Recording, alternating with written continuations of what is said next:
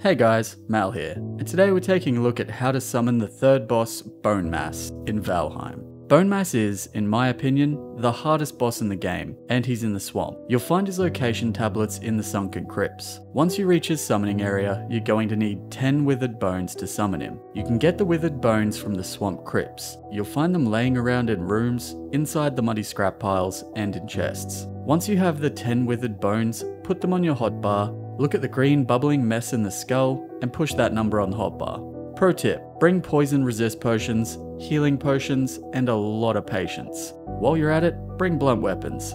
Thanks for watching, and I'll see you guys in the next one.